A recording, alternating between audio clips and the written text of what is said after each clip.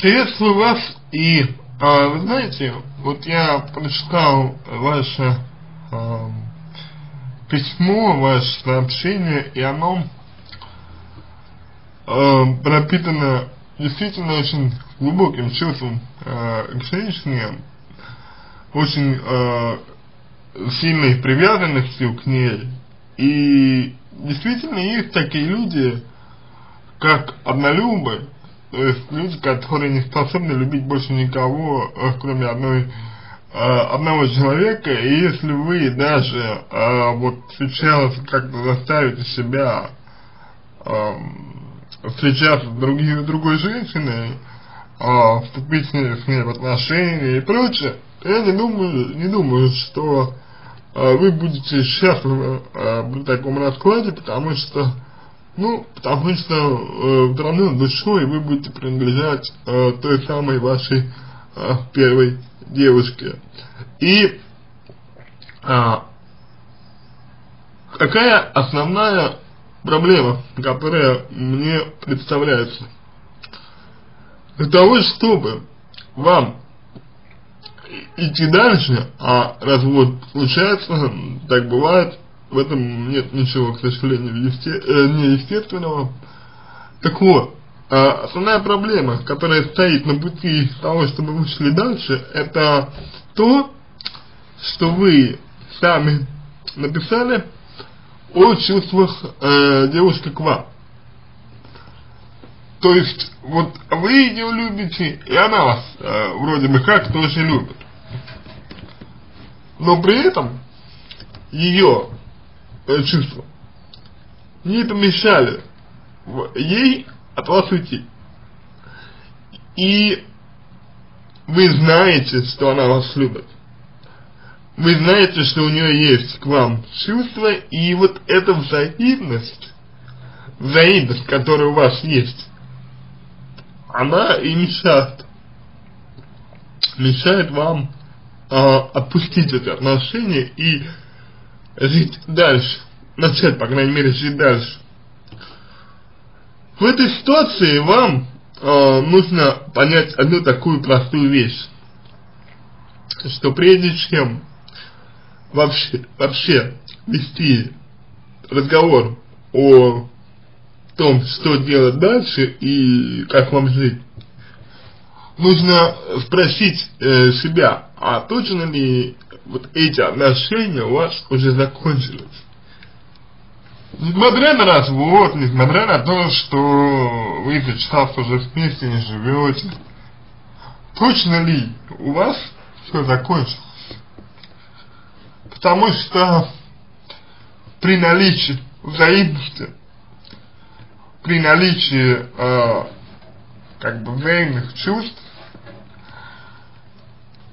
нету непреодолимых препятствий для того, чтобы быть вместе. Вы расстались, потому что ваша жизнь стала слишком скучной. Это значит, что девушка хочет чего-то другого. Она хочет, чтобы вы, может быть, были немножечко другим. Она хочет для себя и для своей жизни нечто такого, чего вы ей не дали, не давали. И из-за этого она, собственно говоря, ушла. Так попробуйте, а, если вы нормальных ней отношениях, если вот у вас хороший контакт, если вы общаетесь, как я понял, попробуйте показать ей, что вы э, уяснили свою ошибку, что вы осознали ее, что вы теперь сделаете жизнь такой, какой она хотела быть. И, может быть, тогда, увидев, что вы изменились, девушка к вам вернется. И вы вновь будете жить вместе. Либо вы покажете ей, что готовы меняться, она скажет, нет, прости, у меня к тебе симпатия, но я не чувствую к тебе той любви, которую, например, вижу с твоей стороны. И я не хочу тебя обманывать, и тем более не хочу жить э, замужем за человеком, которому не испытываю чувств. То есть я не хочу тебя как бы привязывать к себе. Если она вам такой ответ даст, то тогда вы получите, по крайней мере, четкую позицию с ее стороны. И эта четкая позиция поможет вам со временем ее принять. И если вы девушку любите, то любовь это вообще говоря чувство очень прекрасное. И когда любишь, хочешь, э, чтобы человек, которого любишь, был счастлив. Вот это основная характеристика этого чувства. Чувство настоящего, когда любишь действительно.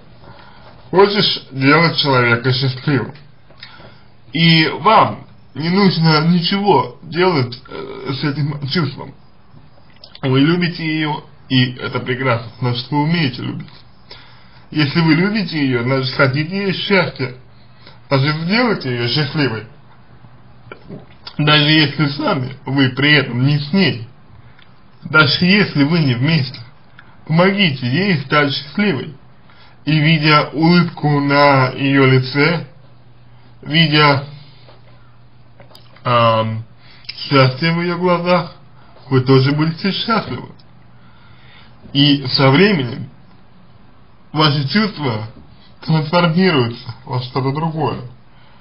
Может быть, в уважение, может быть, в э, благодарность за то время, что она подарила вам, может быть, во что-то еще. Но со временем любовь, любовь трансформируется, и вы сможете жить дальше. Но когда это произойдет? В один прекрасный день, или может быть в один, через там год, два, неизвестно. Однозначно можно сказать, что вы сами не хотите, чтобы это чувство происходило, и не нужно. Но вы воспринимаете это чувство как что-то негативное, тогда как оно в действительности олицетворяет собой позитив. И все, что вам нужно сделать, это осуществить те самые варианты, которые я предложил, и тогда уже формировать свое поведение в дальнейшем. Если возникнет такая ситуация, что, э, значит, э, девушка вам вот сказала, что не хочет быть с вами, что ваши изменения ее не устраивают, что она к вам чувствует не то, не то что чувствуете вы, и э, вы сделаете ее счастливой, она будет счастлива, вы будете видеть это, но сами счастливы вы не будете. Это означает, что вы не будете получать удовольствие от своей жизни, так как сейчас вот не получаете. И тогда можно говорить о том, что у вас действительно определенная зависимость от нее. Но какого плана зависимость? Она для вас что-то значит. Вот она для вас, может быть, стала символом. Символом, например, э, вашего развития. Символом и стимулом для ваших достижений.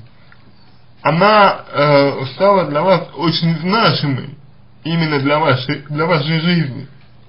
И, естественно, такое значение вот так просто сразу не уходит.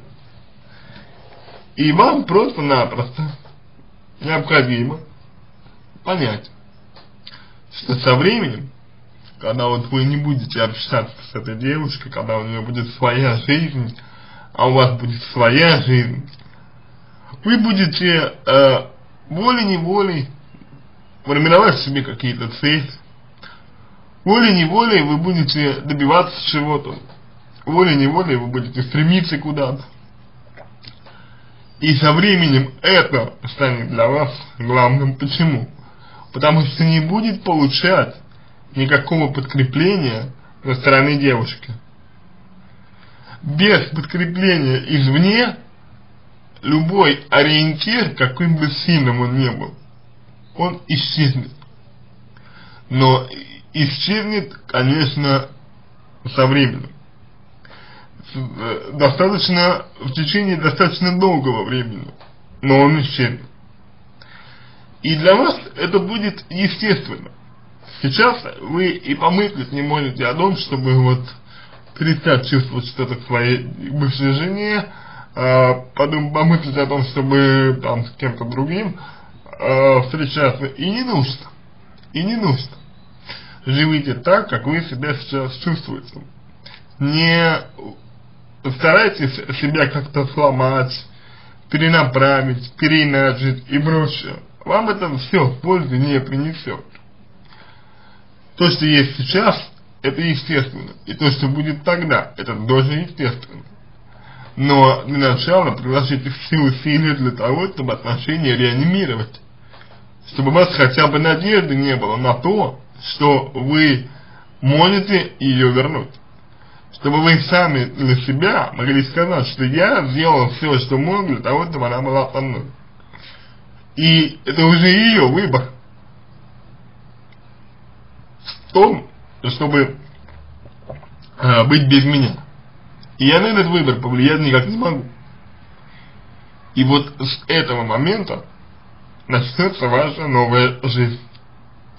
Сперва жизнь в память о ней, как бы сперва жизнь с оглядкой на нее, но потом, постепенно-постепенно, в связи с тем, что у вас есть достаточная волевая регуляция для того, чтобы э, стимулировать свою личную активность, постепенно она будет все меньше и меньше э, занимать место в вашей жизни, вашем сердце и вашей душе.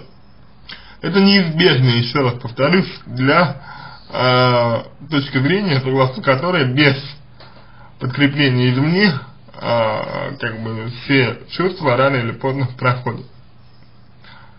И вот не нужно ставить себя в какие-то рамки. Не нужно э, ставить себе какие-то определенные временные границы. Вы молоды. Вам только лишь 23 года. Вас еще все впереди. И сейчас вам нужно жить тем, что вы чувствуете. Вот вы чувствуете к ней любовь, наслаждайтесь этим чувством. Можете что-то сделать, сделайте. Не можете, живите для себя. И дайте вашим ощущениям проходить через вас свободно. Дайте вашим эмоциям жить полной жизнью у вас так, как им хочется. Не подавляйте ничего себе. И не думайте о том, что вот что-то вы делаете неправильно, что-то вы чувствуете верно и так далее. Это все предрассудки. Это все стереотипы. Они не подходят для того, когда речь идет о чувствах. Ну, не подходят никак. И вот этот момент нужно понять. И когда вы говорите о том, э, что вот вы тут пишете, что значит, э, я не хочу отношений, э, люб, любовная ли это зависимость или не, и лечится ли она, вот вы спрашиваете. Я вам скажу так, что у вас это независимость. У вас это э, слишком большая значимость человека для вашей жизни. Потому что вы с 15 лет, когда девушки испытываете чувства. За это время она стала для вас едва ли не самым главным человеком в жизни. И это нормально. И здесь не только любовные чувства, здесь еще и может быть что-то другое. Это просто восхищение человеком, это первая женщина в вашей жизни, первая любовь, как я понял, и так далее. Поэтому, конечно, э, вот так сразу вы ее не забудете. Но то, что у вас есть, это прекрасно, это великолепно, это, это превосходно. И то, что вы можете испытывать такие чувства, то, что вы можете так э, проявлять свою любовь, это, это очень большая редкость. Поэтому я думаю, что такое теплое чувство, как искренняя любовь, будет греть вас, даже несмотря на то, что вы не вместе. А со временем, еще раз повторю, естественным путем, все у вас постепенно изменится. В какую сторону, конечно, можно только гадать, мы гадать не будем, но изменится. И вам нужно просто не сопротивляться сейчас своим эмоциям, давать им волю, а когда наступит время изменения, вы почувствуете, что готовы к изменениям, вы почувствуете, что они сами стучатся к вам, как бы в дверь, им тоже сопротивляться не нужно. И вот в этом случае, если вы не будете ничего в себе подавлять, специально, целенаправленно, в этом случае вы в конце концов будете счастливы. На этом все. Надеюсь, что помог вам. Если какие-то вопросы остались, обращайтесь в личку «Помогу». Если вам понравился мой ответ, буду благодарен, если сделаете его лучше.